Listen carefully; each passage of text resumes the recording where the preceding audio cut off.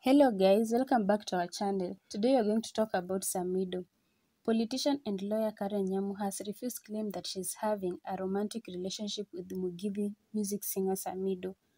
Karen was alleged to be dating Samido and they had reportedly even welcomed a son. Nyamu, who was speaking during a live on-air interview with Radio Jambo's Masawe Japani, said they are just good friends. I don't care what people say about me. I don't have that time.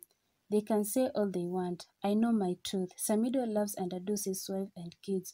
And as I said, he's my friend. He knows the truth. Whatever the truth is, is aware of it, she said.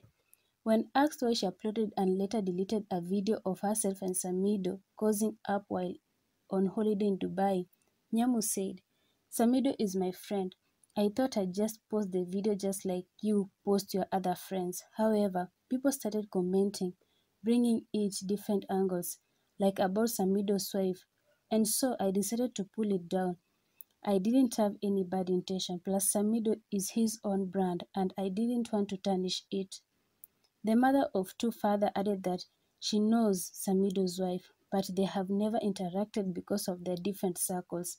Yes, I know her, but our circles are different, and I know she has no beef with me because she knows the truth. Nyamu added. Nyamu, who unsuccessfully paired for the Nairobi Women Representative in 2017, said she was in Dubai with other politicians while Samido had an event there.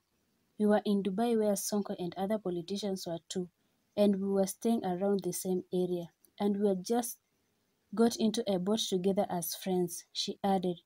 Please remember to subscribe, like, comment and share for more videos.